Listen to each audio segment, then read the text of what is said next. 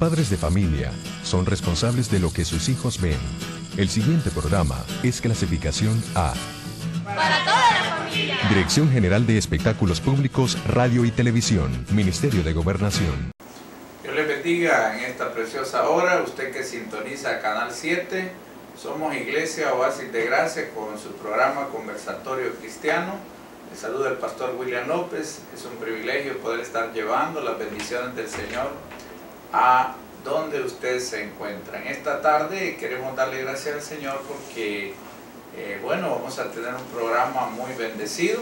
Esperamos que usted esté atento desde ya. Le damos gracias al Señor porque está ahí en su casita y esperamos que no vaya a cambiar por nada del mundo la eh, frecuencia de, su televisión, ¿verdad? Que siga en Canal 7 y que estemos pues eh, pendientes, ¿verdad? De todo lo que eh, vamos a estar desarrollando. Ya tenemos eh, algunos sábados que hemos estado hablando acerca de las reuniones que tenemos en casa, ¿verdad? Como iglesia. Eh, hemos estado pues hablando y cómo el Señor nos va llevando, ¿verdad?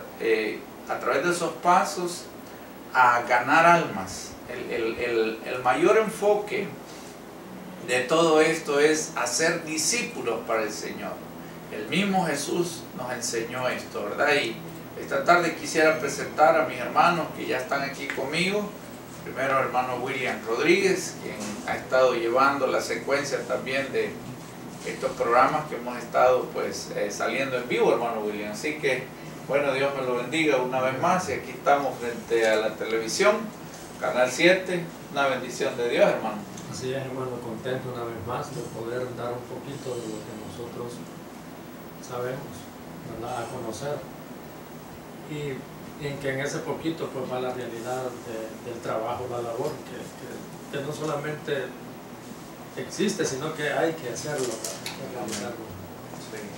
Bueno, tenemos también aquí a mi hermano Santos Mesa, que también, ¿verdad? Este, ha estado ya por un buen tiempo ya también frente a la televisión, así que hermano Santos, bienvenido también, ¿verdad? Amén. Que el Señor pues pueda eh, estar ahí dándole su gracia, hermano Santos. Bien, que el Señor les bendiga a cada uno de mis hermanos que estamos acá reunidos, así como también a los televidentes que están a través de Canal 7.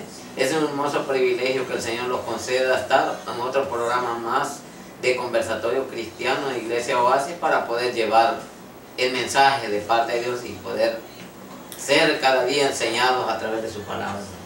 Bueno, desde un inicio, ¿verdad? Hemos estado hablando de que el deseo de Dios al constituir la iglesia era que se comenzara desde Jerusalén, Samaria, Judea y hasta lo último de la tierra. A estas alturas hay un buen porcentaje todavía de personas aún no alcanzadas, ¿verdad? De las cuales nosotros tenemos que luchar para que estas personas se conviertan. Usted puede decir, usted está en El Salvador, me imagino que en Texitepec sí, ya hay mucho evangelismo, es cierto. Tenemos programas de radio, programas en la televisión, en la iglesia, en las calles, en los parques, se ha estado predicando el evangelio, pero aún hemos llegado a entender últimamente, estamos viendo de que aún dentro del pueblo evangélico hay gente que no ha recibido el verdadero evangelio del Señor. Y la iglesia es la encargada de llevar, de llevar a las personas, ¿verdad?, el evangelio del Señor. En Mateo capítulo 4, versículo 2 encontramos cómo Jesús inicia el ministerio. Y la palabra clave es, los voy a hacer pescadores de hombres. Ya no van a hacer eh, sus vidas igual, van a hacer vidas diferentes.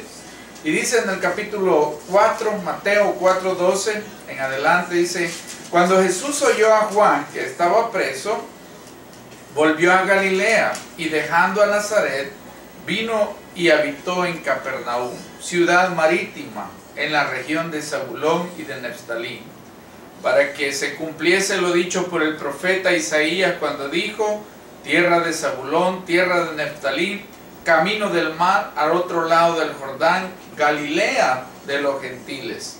El pueblo asentado en tinieblas vio gran luz, y a los asentados en región de sombra, de muerte, luz, dice, les resplandeció. Desde entonces comenzó Jesús a predicar y a decir, arrepentidos porque el reino de, de los cielos se ha acercado. Andando Jesús junto al mar de Galilea, había dos hermanos, Simón llamado Pedro y Andrés su hermano, que estaban a la red, que echaban la red en el mar, porque eran pescadores. Y les dijo, venid en pos de mí y os haré pescadores de hombres. Imagínense qué importante es que la iglesia conozca cómo desarrollar el plan, la estrategia, el método de Dios para alcanzar las almas. Hemos dicho, ya hemos, este, como repito, hemos traído una secuencia de estos programas. Primero hablábamos acerca del rol de lo que es el anfitrión.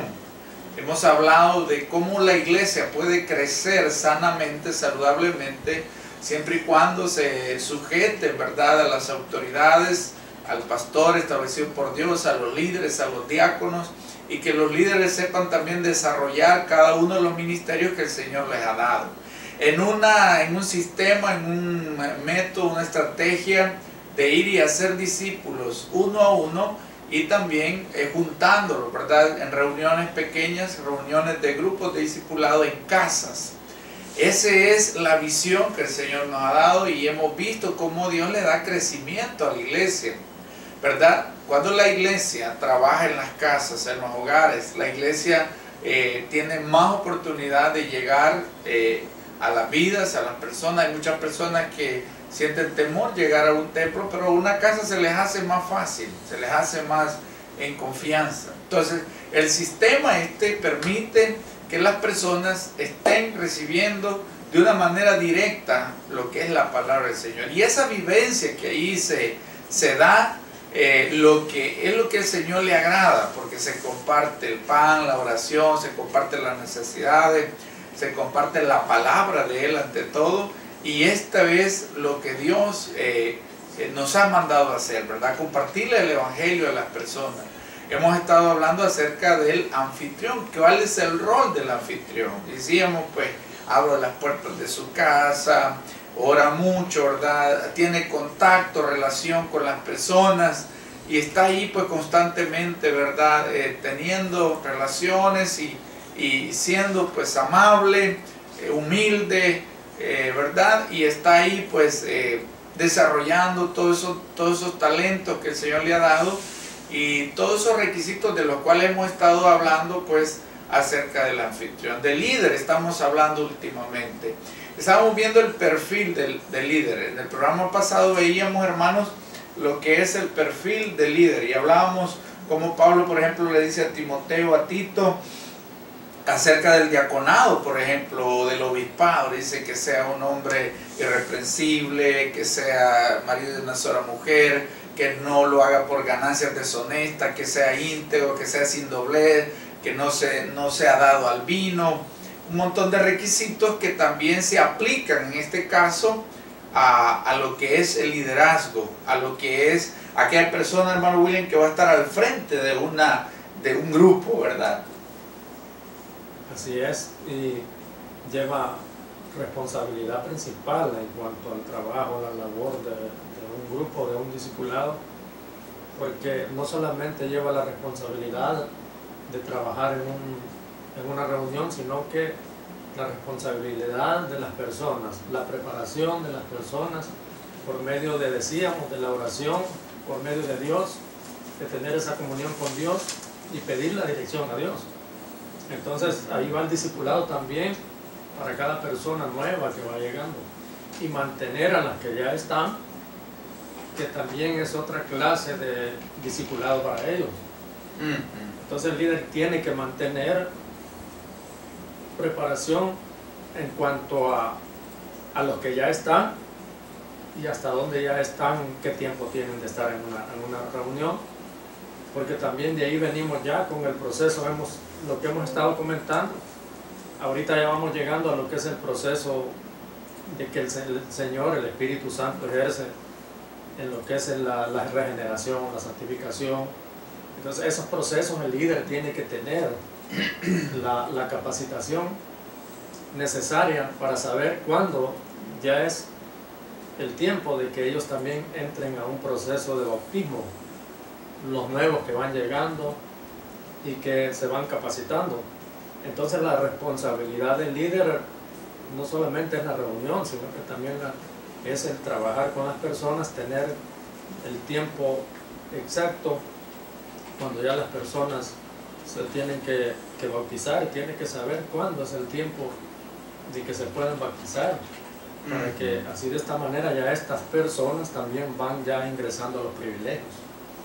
La verdad es que es un privilegio grande, ¿verdad? Que Dios confía en, en las personas.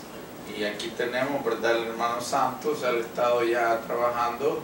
Eh, en el caso de él, pues hace una doble función, tanto de anfitrión como de líder, ¿verdad? Y yo sé que no es fácil llevar a cabo, ¿verdad? Y, debe de haber un equilibrio. Pero si el Señor, hermano Santos, nos ha escogido, Él sabrá, ¿verdad?, cómo, cómo llevarnos. Y, lo que, la palabra que mencionaba el hermano William es tan importante, dejar que el Espíritu Santo sea el que vaya haciendo esa obra regenerativa, tanto eh, en el aprendizaje del líder a convivir con las ovejas, a alimentarlas espiritualmente, eh, como también al desarrollo mismo que se va a ir dando por cada uno de ellos, ¿verdad? Sí, es importante primeramente pedirle al Señor que le dé esa fuerza espiritual, que le dé esa paciencia y a la vez que también haya un agradecimiento dentro del corazón para poderlo ejercer. La verdad es que Dios los ha puesto en un lugar tan maravilloso y que nosotros tenemos que estar agradecidos el Señor la oportunidad que Él nos llamó a sus caminos. Y quizás eh, eh, me atrevería a decirle que por mi mente no, no corrían, digamos, eh, privilegios así tan grandes, porque aparentemente se puede ver un privilegio, ah, voy a ser líder o voy a ser anfitrión, es nomás. No hay muchas responsabilidades dentro de, de ese lugar dentro de las vidas que ahí nos visitan, igual con la congregación en la iglesia. Son momentos que tenemos que estar siempre al frente, pidiéndole al Señor a través de oración, congregándolos, teniendo comunión con las vidas, con los hermanos, con los pastores también, porque es otra parte espiritual que el Señor nos habla cada uno de ser, ser sumisos, ser responsables en toda esa área. Y ahí hay vidas que, como decía usted, al llegar a un hogar es más fácil que llevarnos a una congregación, una congregación como que hay más un temor o algo, pero ya en un hogar pues ya la reunión es distinta, pero ahí se le enfoca o se le habla también el verdadero hecho que nosotros el enfoque que es de llevarle la palabra del Señor, traducirle también, porque eso es lo que se hace en ese lugar. Mm. Ahora como usted dice de anfitrión, sí es bastante, eh, como le quisiera, esforzado, pero a la vez Dios le da la fuerza a uno, hermano, para poderlo hacer. Si muchas veces nosotros cuando no conocíamos de Dios los esforzamos en algo que no, no, no valía la pena, más ahora el Señor pues los ha capacitado y los ha dado lo mejor, que es la oportunidad de poderle servir a las vidas también. Amén. Bueno, vamos a hablar un poquito en sí. Eh, los, los objetivos claros que debe de tener un líder, ¿verdad? Porque hay que eh, jugar o equilibrar estas dos cosas. Que lo primero es ganar esa salva, pero también una vez ganadas, el poderles pastorear, ¿verdad? Lo que usted decía, porque algunos eh, reciben ahí al Señor, pero ¿qué hacemos con estas personas, verdad? Entonces el líder tiene que también tener esa capacidad o esa ese llamado, ¿verdad? Pastoral de poder este, criar, de poder alimentar, de poder este, nutrir a esa vida que ha recibido al Señor. Pero lo primero, cómo, inicia este proceso es eh, tener bien definido a qué nos ha llamado el Señor. ¿Verdad? Eso es lo primero. Amén. ¿Qué es lo que yo voy a desarrollar? Porque algunos eh, como hemos dicho en el otro programa y lo vamos a seguir mencionando, algunos anhelan estas cosas, pero no se imaginan ellos cuál es en realidad la voluntad de Dios. Una cosa es que usted lo anhele y es bueno, ¿verdad? No vamos a decir que no es bueno, sino que es algo pues que son deseos muchas veces que el mismo Señor pone. Pero a veces son deseos también de la carne, ¿verdad? Que las personas son las que desean. Yo quisiera tener y, y lo que pasa es que ellos porque tal vez tienen otras ideas en su mente. Pero lo primero que un líder debe tener eh, es cómo inicia el ministerio, por ejemplo, de Jesús. Él es el ejemplo a seguir. Y él dice, bueno, él vio que las cosas estaban dadas, Juan el Bautista estaba preso, él se moviliza hasta una ciudad, un lugar donde él vio que en realidad ese, ese lugar estaba en tinieblas, así dice la palabra que acabamos de leer. Y entonces él dijo, aquí vamos a iniciar el ministerio, porque aquí hay mucha necesidad. Entonces, lo primero es tener un deseo fervoroso, ¿verdad? Una pasión por ganar almas. Eso es lo primero que nos debe de llevar. Primero es saber que este es un llamado de Dios y que el trabajo que vamos a desarrollar es para el Señor. ¿Y qué vamos a hacer? Porque yo sé que hay líderes escuchando y hay pastores también. Y al enfrentarnos a la realidad, ¿qué hago? ¿Cómo le hago a esto? Porque una cosa es la teoría y otra cosa es llevarlo a la práctica, ¿verdad? ¿Verdad? Entonces, eh, ¿cómo desarrollo yo esto?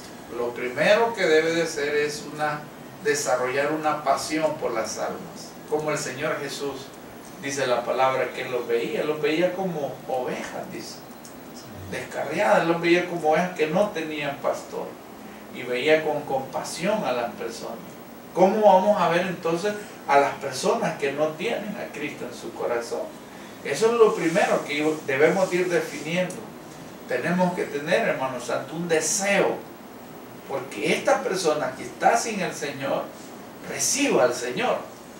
No es con espada, ni con ejército, pero es con su Santo Espíritu. Pero el deseo, hermano William, debe estar en el corazón. Así es, tiene toda la razón porque usted mencionaba algo bien bonito en cuanto a la responsabilidad, en cuanto a lo que el líder, cómo debe de ser, pero también, hermano, no podemos dejar desapercibido que una, de un grupo de, de crecimiento, de ahí vienen de todos los privilegios también para la iglesia. Incluso se ha dado que pastores de ahí salen para la iglesia. Entonces un liderazgo, un líder comienza naturalmente en una célula, luego un líder llega a una iglesia, hay líderes que han llegado a tener congregaciones grandes también, pero ¿de dónde viene? De un grupo de crecimiento. De ahí nacen diáconos, diaconisas, lideresas, líderes. De ahí nacen para todos los privilegios de las iglesias. Y es una labor realmente, pero también usted mencionaba otra parte bien importante, que un líder cuando comienza en un grupo de crecimiento debe ser llamado de Dios también. Porque usted decía algo bien especial que, que, por un emocionalismo. Vaya, vamos a poner un ejemplo bien claro. Han habido predicaciones muy bonitas que nosotros nos hemos dado cuenta. Sí. Y que pastores que hacen un llamado que pasan hasta 40, 50 personas. Pero díganme usted, hermano William, y hermanos santos, ¿cómo, ¿cómo podemos ver nosotros, cómo podemos enfocar dónde están estas personas? Sí. Si, si, todas estas personas que reciben a Cristo en una campaña, por ejemplo, o en un culto de acción de gracias, estuviesen en las iglesias, no estarían las iglesias vacías como están. Sí. Y esa es una realidad. Pero ¿por qué razón? Aquí viene la parte importante que usted mencionaba. Cuando reciben a Cristo muchos por eso pueden llegar a ser cristianos, pero no evangélicos. ¿Por qué razón? Porque reciben a Cristo por un emocionalismo. Reciben a Cristo porque les gustó como predicó el, pastor. Y no fue, no fue que el Señor les tocó su corazón y que en verdad creyeran en Él y que, que le aceptaran en su corazón, que le recibieran. Sino que les gustó como predicó el, el pastor y pasan. Naturalmente en ese momento lo ministran oran por ellos, pero ¿qué pasó de esta alma, de esta vida que pasó? El le dan seguimiento. hay que darle por lo menos 3, 4 meses de seguimiento, se le anota su nombre, su dirección, número de teléfono y hay que estarlos visitando constantemente, cuáles son sus situaciones, identificarse con ellos, cómo son las situaciones, cómo ayudarles a salir adelante en las situaciones, cómo luchar junto con ellos en las situaciones, eh, si tienen problemas serios, eh, contarles otros problemas serios también, que darles a entender que no solamente ellos tienen problemas así, ¿verdad? No que hay otros que tienen incluso problemas peores. Eso ayuda mucho en el Evangelio para que ellos se den cuenta de que esto es una lucha y que todos vamos hacia adelante. Todos vamos en un mundo y estamos en un mundo en el cual van a haber dificultades, van a haber situaciones, pero que también eh, nosotros sabemos que llevamos a alguien que va peleando la buena batalla por nosotros. Y es Cristo Jesús en nuestras vidas. Por eso es que la efectividad que tiene el trabajar personalmente, ¿verdad? El dedicarse a una alma, poner ahí, como dice en la punto, ¿verdad? De mira y ver cómo, ¿verdad? Esta alma puede ser transformada para el Señor. Y en los grupos estos pequeños, hermanos santos, tenemos una oportunidad grande. Porque muchas veces identificamos, ¿verdad? Un vecino. Imagínense, por ejemplo, el trabajo que está haciendo ahorita su esposa con su vecina. Primero las he empezado a invitar, ¿verdad? Después, últimamente las he estado llevando a la iglesia. Es un proceso. Todavía ellas no, no han confesado, ¿verdad? Pero el hecho de que ya haya ganado ella la confianza, ¿verdad? De poderlas llevar a la iglesia, poderlas estar cuidando, eso ya es el inicio de que ya el Señor le puso en su corazón. Y el Señor ya está obrando, hermano santo. Esa es una, una pasión que tiene que ver dentro del corazón de cada uno de nosotros, así como tenemos ese rol de anfitriones y líderes.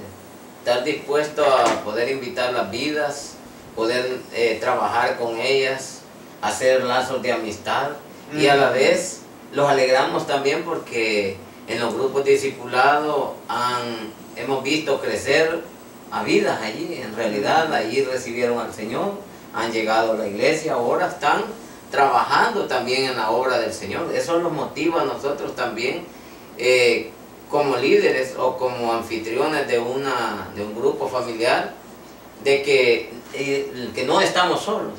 Dios va con cada uno de nosotros y poniendo vidas. Allí en el hogar ahorita hay tres familias que están llegando que no, no han recibido al Señor, pero todo a su tiempo. Estamos orando por ellos, pidiéndole al Señor que sea el Espíritu Santo que las toque y puedan recibir al Señor.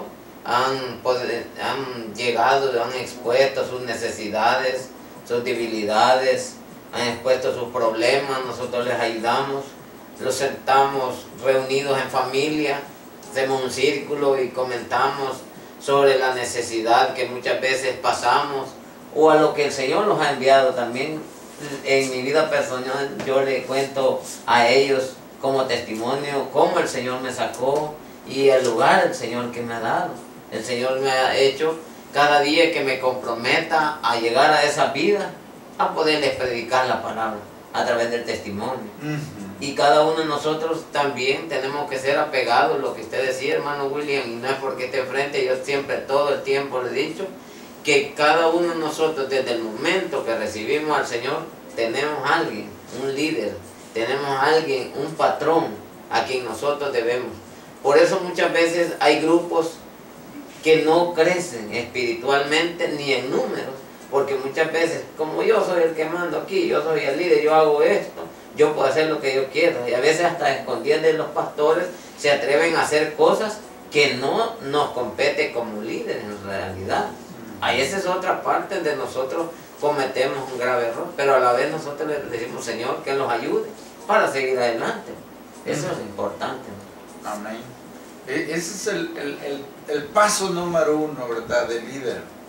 Debe de tener ese, ese amor ese ferviente amor por las almas, ese deseo de trabajar para el Señor, ¿verdad? Y, ahí el Señor, eh, el segundo sería la escogitación, ¿verdad? Porque como le repito, eh, vamos a ver eh, familia, vamos a ver algún vecino, vamos a ver una persona, hermano, que el Señor, ¿verdad? Va a empezar a poner en nosotros, en el camino de nosotros, en el camino de nosotros. Y vamos a empezar a prepararnos en oración, a clamarle al Señor, ¿verdad? Vamos a declarar el nombre de esta persona, vamos a decir, Señor, porque vamos a investigar, ¿verdad? Cómo vive, cómo se llama, a qué se dedica, ¿verdad? Tener un contacto, que sería lo tercero. Primero vamos a escoger, vamos a decir, bueno, esta persona puede, ¿verdad? Ser salva por el Señor. Y empezamos a prepararnos en oración, empezamos a clamarle al Señor. Esa ya es la función del líder. Estamos hablando del perfil, hoy ya nos pasamos a hablar de la función, ¿verdad? Lo que desarrolla en sí, cómo va a elaborar, cómo empieza su trabajo. Entonces, lo primero es que el Señor, como decía mi hermano, sienta que es un llamado de Él y todo se va a odiar, porque cuando es llamado al Señor, se sostiene, se mantiene y de repente Dios le da la oportunidad. Entonces va más seguro todavía porque sabe que no se trata de una emoción, sabe que no lo está imponiendo a la fuerza, sino que está dispuesto. Hay disposición. Y lo segundo es, escoge a un alma, una vida. Como decía el hermano, antes se hacía esto, ¿verdad? Campaña y todo eso, pero los tiempos van cambiando. Y uno tiene que ver cómo llevar la palabra. Y nos hemos dado cuenta de que lo que usted dice, ¿verdad? En las campañas lo que hacíamos es que tirábamos como una eh, está un montón de, de, guacales o botellas, por decirlo así. Nosotros agarrábamos el agua, un guacal lleno, ¿verdad? Y la tirábamos y les caía gotita, ¿verdad? Gotita las botellas, los guacales. Pero no se llenaban. Entonces agarrar uno por uno, agarrar una botella, agarrar un guacal y entonces se desvacía el agua en esa persona. Entonces se va a llenar, va a ser más efectivo el trabajo eh, uno a uno, como decimos. Podemos agarrar a una persona, como decía usted, uno, dos, tres meses, invitándolo, invitándolo, y luego que ha recibido el Señor, otra vez, otra vez, enseñándole la paz, la salvación, el perdón de pecado, eh, el arrepentimiento, el poderse bautizar. Todo esto son cosas que tenemos que irlas enseñando, ¿verdad? Dentro del del grupo discipulado que, hacemos, ¿verdad? Ya sea en la reunión, en la casa de él o en algún lugar especial que se acuerde. Y estas son las funciones que va desarrollando el líder. Vamos a escoger una persona y le vamos a hablar, como decía el hermano santo, acerca del testimonio de nosotros. Pablo hacía eso, ¿verdad? El método de Pablo fue ese, no, no se complicaba, él hablaba de la experiencia que él había tenido. A veces uno dice, ¿y de qué le hablo a esta persona? Háblele de su testimonio, ¿verdad? Cómo el Señor, y todos tenemos aquí un testimonio, cómo el Señor nos ha traído a sus pies. Podemos hacer ese contacto, ¿verdad? Y, y, también pues debemos estar orando mucho, fervorosamente, y tenemos que establecer esos contactos, ver, ¿verdad? Como decía el hermano, tener en cuenta la dirección, donde vive, cómo se llama, a qué se dedica, por ejemplo, hermano, a conocer a esta persona, hermano. Es importante conocerla, ver sus necesidades, ¿verdad? Ver, ver cuál es, cuál es su, ambiente, su entorno en la que él vive, para poder que él sienta que le amamos y que queremos ayudarlo. Porque las personas no llegan a la iglesia porque ellos, ellos tienen una mentalidad bien equivocada. Ellos dicen, no, ahí me van a quitar todo o ahí no sé qué pueden pensar, ¿verdad? Entonces, hay muchas personas que no están en una iglesia porque creen que ahí se practican cosas feas, como no, uno no sabe lo que la gente... De hecho, nosotros no sabíamos de qué trataba antes de venir a los pies de Cristo. uno tiene una idea equivocada, Dios no anda en una vida de que placeres y todo eso, y cree uno que eso es lo mejor y que eso es lo único que hay. Pero cuando conoce a Cristo, una persona se da cuenta que lo puede, que puede usarlo el Señor para bendición, lo que el hermano decía, ni nos imaginaba, imagínense, ¿quién de nosotros usted se imaginaba que íbamos a estar frente a una pantalla enseñando estos temas? Pero ¿quién lo ha hecho? El Señor. Sí, Alguien sí. tuvo que hablarnos a nosotros, tuvo que pasar una experiencia y de esa experiencia le vamos a hablar a las personas. No sé, hermano William, ¿qué le parece esto? Magnífico, esa es una realidad porque el testimonio de uno no ha sido algo sencillo que uno ha vivido. Y en verdad así tiene que ser, hermano William, porque el testimonio de uno cuenta, porque no es poquito lo que uno ha vivido en el tiempo que uno no fue cristiano. Y también usted mencionaba una parte importante con respecto a, a llegar a una iglesia, cuesta llegar a una iglesia por sí solo es muy raro una persona que ella sola llega y, le gustó el culto, como escuchó que cantaban o que ya estaban en la prédica y entra a la iglesia. Es rarísimo un caso que, que se dé que por sí solo entra. Pero es por eso, porque eh, en la iglesia se entienden máxime hoy en día, hay muchas cosas, muchos detalles en los cuales eh, eh, las personas dicen para llegar a tal lugar mejor no llegan. El Señor por eso nos habla de una iglesia ordenada. Él dice que es un Dios de orden. Entonces, este, ¿qué más y mejor un grupo de discipulados para que las personas vayan cono- conociendo el orden de una congregación? Es algo bien importante, esa es una parte bien importante e incluso sin temor a equivocarme, yo sé que hay congregaciones que un grupo de discipulados lo ven como algo bien común y corriente, es decir, hagamos una reunión y qué bonito, ¿verdad? Vamos a cantar. Pero sencillamente eso, pero no ven el propio fundamento, no ven que lo espiritual va primero, que ahí es un ministerio que Dios está montando, que el Señor está montando en un hogar. Por supuesto, hay otra parte importante porque sin temor a equivocarme también hay crecimientos en los cuales se hacen por aumentar la cuenta. Aumentemos tantos líderes y tenemos que tener tantas células. No, para mí, y yo sé que para nosotros, los que estamos acá, y para muchos pastores que en verdad se someten a clamarle a Dios, el pastor va a clamar por quien Dios le va a poner en su corazón que va a salir como líder o que va a salir como diácono, como lideresa, cualquiera. El pastor va a orar, se va a someter y Dios va a contestar y le va a poner en el corazón al, al pastor y, el Señor incluso habla en voz audible. El Señor ha- habla por sueños. El Señor, eh, Él se manifiesta realmente cuando nosotros, ¿verdad?, nos sometemos. Entonces el pastor va a ir sin temor a equivocarse llama a la oficina o donde sea en la iglesia, llama al miembro, mi hermano, el Señor le da este privilegio, se lo, se lo da. Entonces es un sometimiento, es, esto es pastor y congregación. Tiene, ¿Quién tiene que ver el líder principal que es Cristo Jesús en una congregación? Entonces lo que viene de Dios, estos grupos de crecimiento van a ser bendecidos y, y estos grupos no van a desaparecer.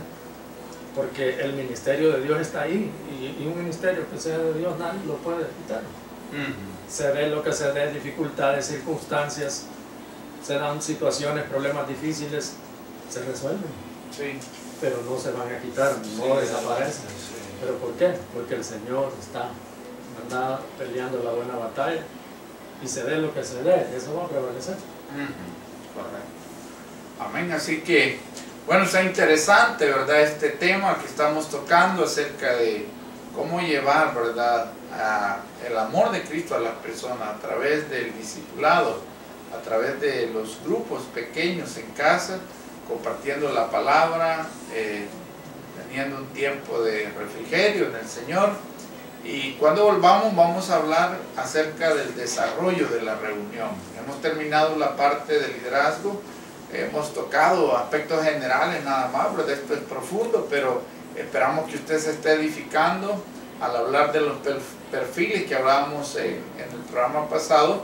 Hoy estábamos un poquito enfocados más en esta primera parte a la función del líder, eh, lo que hace, ¿verdad? Cómo siente ese llamado al Señor, cómo se prepara, cómo le habla a las almas, la vida, cómo la lleva, ¿verdad? Al, al grupo, la- las, la, eh, tiene relaciones ve, ve las necesidades, cómo le comparte el, el amor del Señor y cuando esta vida recibe el Señor no lo deja solo tampoco, por el contrario, ¿verdad? Empieza un proceso, como decía hermano William, un proceso dentro del cual va a ir siendo eh, sumergido en lo que es la doctrina de la iglesia, la enseñanza del Señor.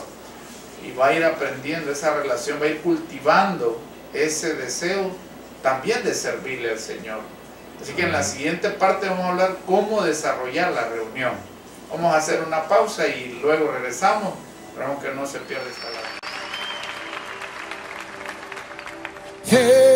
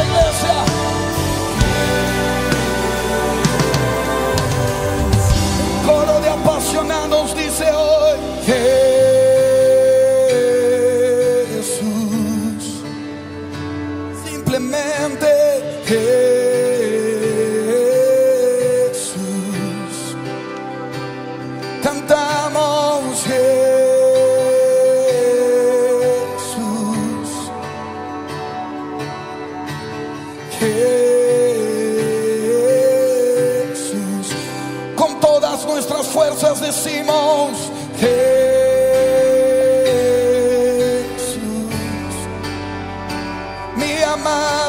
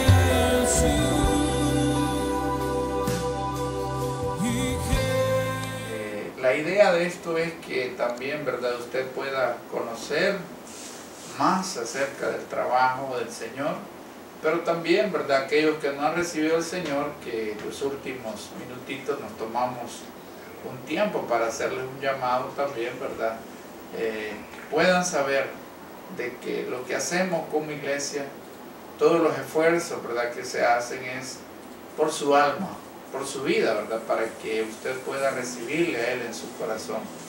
Y hablando, hermanos, cómo desarrollar la reunión, yo sé que en realidad, pues este es como la oración, ¿verdad? No hay un esquema así al cual, pues, eh, apegarnos cada congregación. Yo sé que hay pastores que me están viendo, cada uno de ellos, ¿verdad? Tiene cómo el Señor les ha puesto a ellos, ¿verdad? Cómo desarrollarla. En el caso de nosotros, pues hacemos algo eh, más que todo orientado a las vidas, al pastoreo de, las vidas que ya están con nosotros y a la apertura, ¿verdad? Eh, que las vidas, las almas que aún no han recibido a Cristo, puedan ellos sentirse parte de esa reunión, ¿verdad? Hemos orado y hemos hablado mucho de eso. El líder ora, el anfitrión ora, eh, es una, una me gustó cómo finalizamos. La gente cree que este es un culto más, o que esto es algo, el sábado ahí veo yo como hay líderes que ni siquiera se preparan, ¿verdad? Ni, ni leen, ni oran, y de repente tienen los grandes problemas, ¿verdad? De repente llega gente que ni sabe de uno cómo ha salido, o conflictos, ¿por qué? Porque no hay, no hay una oración, no hay una preparación. Eh, ah, se pueden dar casos en que allí mismo le diga, ve usted predique, así pasa. Y no debería ser así, ¿verdad? La, la, la, reunión debe de tomarse con toda seriedad, debe de saberse de que allí van a llegar vidas que nunca han recibido al Señor y quizás nunca han estado dentro de una iglesia y a lo mejor nunca van a estar, porque ahí depende mucho, ¿verdad? Cómo le recibamos, cómo le mostremos el amor del Señor, cómo desarrollemos de una manera muy espiritual esta reunión, de tal manera de que la gente pues sienta de que está en un ambiente en donde se le ama, en donde se le aprecia, en donde se le toma en cuenta. Hay que tomar estos, estos aspectos, hermano William, el poder tomar en cuenta la vida. No es una reunión donde alguien llega y canta, eh, ora, predica y adiós. No. Es una reunión donde las vidas van a tener oportunidad de expresarse. Las vidas pueden tener oportunidad de, por ejemplo, poner sus necesidades, participar de la misma palabra, ¿verdad? ¿Por qué no, verdad? Una pregunta, una lectura, ¿verdad? Eh, van a poder tener oportunidad de compartir, por ejemplo, los refrigerios que al final, ¿verdad? Se hacen. Todo esto es parte de ese eh, buen funcionamiento que se tiene, ¿verdad? Debe de haber una persona que esté lista para dar la apertura, por ejemplo, el saludo, ¿verdad? La bienvenida. Son cosas que se ven sencillas y nosotros las hacemos. Pero tienen un peso bien, bien lindo, hermano. Sí, tiene razón. La persona más indicada para dar el, recibimiento a las personas, la bienvenida es el anfitrión. A él le corresponde por el motivo de brindar su casa, porque él está en su derecho. Entonces, otro en realidad no puede llegar a, darle bienvenida a los demás porque no está en su casa. Entonces son detalles que no aparecen pero que son importantes dentro de, dentro de un grupo de crecimiento. Amén. Y por eso es que eh, es tan importante esto, eh, la persona que da la bienvenida, ¿verdad? Este, compartir una lectura de la palabra, ¿verdad? Unos dos, tres cantitos, eh, no vamos a desarrollar un culto dentro de esa reunión porque es una reunión totalmente diferente de lo que es el culto en, la iglesia. En la iglesia tenemos ya una liturgia que seguir, ¿verdad? Varios, varias, nosotros por ejemplo, este, esta es la forma como el Señor nos ha indicado. No quiere decir que sea la única ni que sea la mejor, por el contrario, eh, cada, cada congregación, y repito esto porque sé que hay pastores que nos están viendo, cada quien, ¿verdad? Como el Señor le ha dado, ¿verdad? Pero en el caso de nosotros específicamente, y como lo estamos sacando al aire, pues de alguna manera nosotros no queremos imponernos, ¿verdad? Sino que queremos dar nada más eh, nuestro punto de vista, cómo, de, cómo debe, eh, a la luz de la palabra, ¿verdad? Porque no queremos salirnos tampoco de lo que es la palabra, pero esto es algo ordenado, es algo planificado, es algo organizado, es algo que se ha pensado ya, ¿verdad? No podemos ir a hacer un culto o una reunión en donde nadie sepa quién va a recoger la ofrenda, por ejemplo, quién va a predicar, o sea, nadie sabe, y hermano que no le tocaba a usted, a mí no, a mí no me dijeron, imagínense qué, qué descontrol hubiera, ¿verdad? Y son cosas que debe de, de tomarse en cuenta. Por eso es que eh, ese equipo que lo forma el líder, el colaborador, el, el secretario, el anfitrión, si es que es otro el anfitrión, ese equipo debe tener una muy buena relación, debe tener contacto, debe sacar tiempo aparte para orar juntos, estar planeando, estar organizando. Hoy, por ejemplo, viene diciembre. Ese equipo puede decir, hermano, ¿por qué no hacemos una cena de finalización de año? ¿Verdad? Y organizarse ahí. Y involucrar a los mismos miembros, tantas cosas lindas que pueden hacer dentro de un grupo, ¿verdad? Y decirle, mira hermano, vamos a hacer, ¿qué les parece? Vamos a hacer una cena. Y yo estoy seguro que cuando le planteamos a la gente, ellos mismos dicen, bueno, yo voy a poner el pan, yo voy a hacer esto. Y, y la cosa es una cosa bien preciosa, ¿verdad? Hacemos una reunión de, de fin de año. Pero es un ejemplo. Ahora bien, estamos en el desarrollo de la reunión. ¿Cómo elaborarla de la mejor manera? Lo primero, ¿verdad? Tenemos que llegar orados, ¿verdad? Pidiendo ese. El que va a predicar debe de ir ya preparado. Debe de saber el tema que le toca compartir, la lección, debe de saber los puntos que lleva, debe de haber orado pidiéndole al Señor que le dé la gracia. No va a ir ahí a ponerse a hablar de otras cosas, porque va a llevar un tema, va a llevar una lección, va a llevar puntos, hablando acerca de la palabra, debe de saber. La palabra del Señor es la que va, es la que es capaz, ¿verdad?, de penetrar, como dice la palabra, hasta el corazón, ¿verdad?, penetra. Entonces el que va a predicar debe, el que le toca los cantitos, aunque sean dos o tres, debe de saber qué canto va a cantar, no va a estar en el momento ahí. No sé qué opinan ustedes de esto, hermano. Sí, es una verdad, a mí me gusta porque usted está diciendo la verdad de las cosas. A lo mejor no, no, ensayamos tantas cosas por el tiempo, debería ser lo ideal, ¿verdad?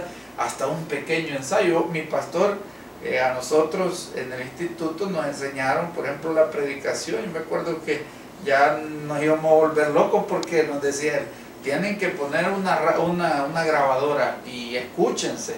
Nos dejaban este, los sermones, ¿verdad? Cómo llevarlo ya preparado y ahí frente a los compañeros uno tenía que pasar a, cuando estaba aprendiendo, ¿verdad? La predicación y, uno se escuchaba y, decía, bueno, bueno, nosotros vamos a tener oportunidad de, ver estos programas y ahí uno, la vez pasada me deciste, a mí me gustaría verlo, a ver qué vamos a, qué, qué mejoras vamos a hacer, ¿verdad? Y para eso es que uno se debe de preparar, hermano. Por ejemplo, nosotros ahorita ya sabíamos, ¿verdad? El tema que nos tocaba hablar, incluso usted trajo hasta material, o sea, hay una sincronización, ¿verdad? No vamos a, bueno, imagínense viniéramos y de qué hablamos, hermano, y ya la, la cámara aquí graba, es lo mismo, es lo mismo en los grupos de discipulado. Ya cada quien, ¿verdad, hermano? Mire, el próximo sábado usted va a orar, o mire, mañana le toca hacer esto, como yo no sé cómo está distribuido nuestro tiempo, lo ideal sería que pues, por lo menos unos dos, tres días antes ya la gente supiera, ¿verdad? Hermana, eh, ¿cree usted que nos puede colaborar este sábado con trayéndonos eh, unos pancitos o un cafecito? Y la hermana dice, ¡Eh, hermano, este día no puedo. Muy bien, hermano, no hay problema. Ya los hermanos, ya por supuesto, más maduros, ¿verdad? Que de alguna forma, pues vemos que podrían tener esa posibilidad. Quizás hay que tomar en cuenta muchas cosas. El líder debe ser muy inteligente en todas esas áreas, ¿verdad? O él mismo dice, mira a la esposa o con la persona, o él mismo dice, bueno, voy a llevar este pancito porque el sábado me toca y quiero compartir. Hasta en eso, ¿verdad? Debe de haber sincronización, debe de haber armonía, organización, hermano. Entonces comienza con la bienvenida, la lectura de la palabra, unos dos, tres cantitos, porque no nos vamos a exceder mucho. Y vamos a darle apertura a la gente, por ejemplo, a la hora de la oración por las necesidades. Se le puede preguntar dentro del grupo, ¿hay alguien que tenga alguna petición especial? Y la gente levanta la mano y dice, hermano, yo quiero que oren por mi familia. O yo quiero que oren por... Y entonces la gente siente que se le está tomando en cuenta. O sea, ahí que ¿Cómo lo ve usted? Sí, no, es la verdad, usted está hablando la verdad. Y también llegamos a otra parte, porque esto es profundo, esto de los grupos de crecimiento, llegamos a otra parte importante que es la de, la de trabajar ya en grupo, ya con, con, líder, colaborador, anfitrión. En equipo, En equipo. Es importante delegar un tiempo a la semana donde no haya culto en la iglesia para no dejar de ir a los cultos a la iglesia, porque hay necesidades que cubrir en la iglesia, máxime cuando hay privilegios.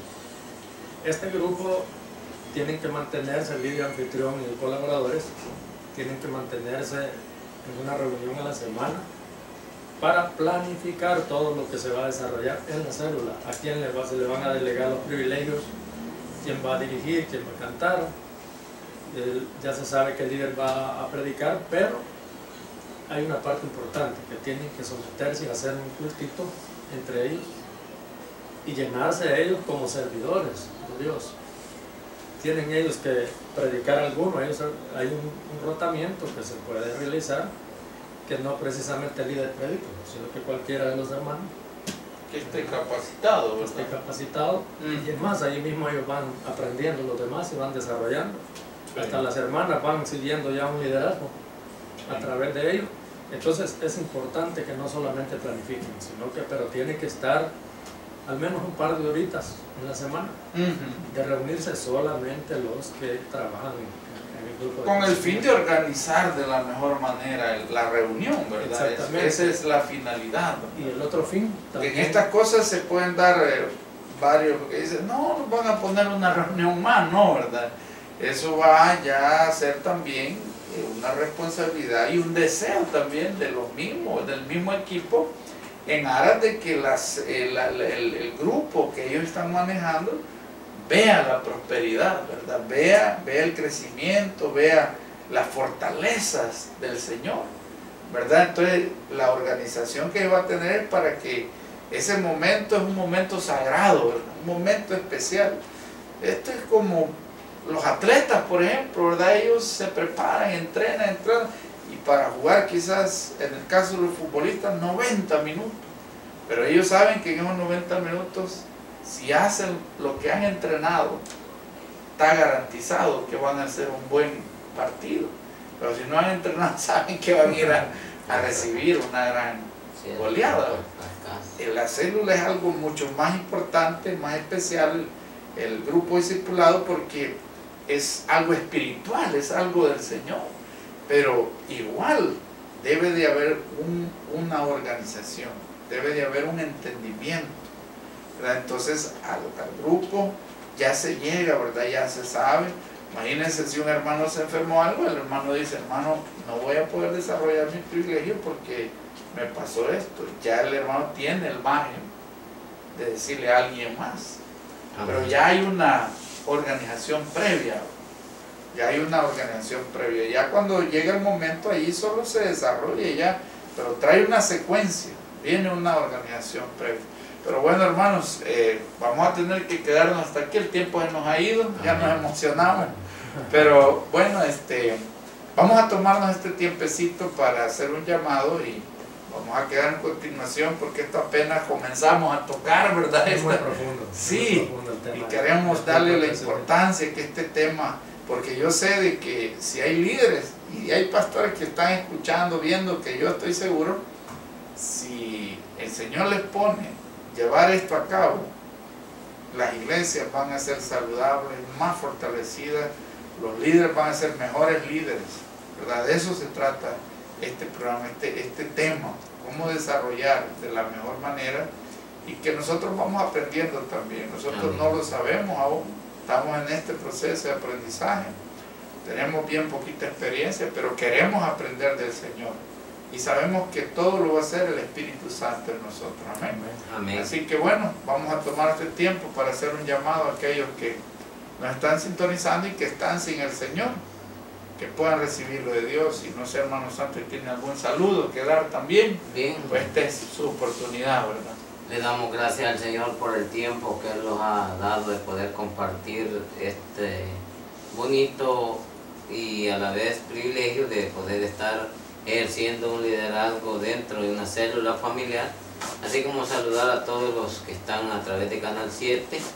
Bendecimos sus vidas, así como mi familia también, esperando que sea el Señor que les dé fortaleza, también a la familia doliente, familia Mesa Soto, que hace unos días pues tuvo una pérdida de un hijo, pero a la verdad Dios nos va a dar la fortaleza de seguir adelante y confiamos que el Señor es el único. Por eso es que nosotros predicamos la palabra de Dios, por eso es que nosotros invitamos a la vida que no estemos desapercibidos, porque la venida del Señor está cerca. Entonces nosotros como hijos de Dios eso nos ha enviado el Señor a poder predicar su palabra, poder predicar su venida a que las vidas se puedan preparar. Para eso es esos grupos familiares. Así que saludo a mi familia también, esperando que salgan bien toda enfermedad que están pasando, pero sabemos que Dios es Dios de fortaleza. Él es el único en quien hemos confiado y seguimos adelante. Así que Dios me le bendiga a cada uno. Así que esperamos también que el día 4 de diciembre vamos a estar ahí en el parque predicando la palabra del Señor. Vamos a tener un bonito programa en ese lugar, un tiempo de esparcimiento de la palabra, compartiendo con muchas vidas, esperando que los amigos que nos están viendo a través de Canal 7 puedan abocarse ahí el domingo 4 y estar junto con nosotros, así como el domingo 27 también de este mes estaremos ahí recibiendo la venida de, la llegada de un hermano, especialmente Ronald Sandoval, un hermano pues que nos ha ayudado mucho, dice allí en la congregación y esperamos pues darle una bienvenida y que juntos podamos compartir la palabra del Señor juntamente con Él y con todos aquellos que nos visitan. Ahora quiero decirle a nuestros amigos y amigas que se encuentran ahí en sus hogares, donde quiera que se encuentren, que la oportunidad está para ustedes. Si alguno de ustedes adolece de alguna enfermedad, no se preocupe, solo piense en un Dios vivo, en un Dios de poder, y Él le sanará. Usted que tiene problemas, situaciones difíciles, hay un ayudador que, está con nosotros y que Él le puede ayudar a salir adelante. Pero yo le invito a que hagamos una oración en esta oportunidad, una oración de fe hacia el Señor. Repita conmigo estas palabras. Señor Jesús, reconozco que he pecado grandemente. Gracias doy al Padre por haber enviado a su Hijo a morir en la cruz por mis pecados. Si desea hacerlo con nosotros, estamos en notificación en retiro, ahí frente a la cancha de básquetbol. Va a ser un privilegio poderle recibir eh, los domingos a las 4 de la tarde. Ahí tenemos el culto. Esperamos que llegue con toda su familia. Vamos a atender también a los niños. Y por supuesto queremos pastorear su corazón, ¿verdad? Recordándoles eh, la invitación que hacía mi hermano Santo para este domingo 4, 4 de diciembre, a partir de las 7 de la mañana vamos a estar en el parque eh, anunciando la palabra, llevando esas bendiciones y queremos también levantar un fondo para seguir construyendo nuestro templo, nuestra iglesia y queremos que usted sea parte de esta bendición también. Así que el Señor nos lo bendiga y será hasta la próxima.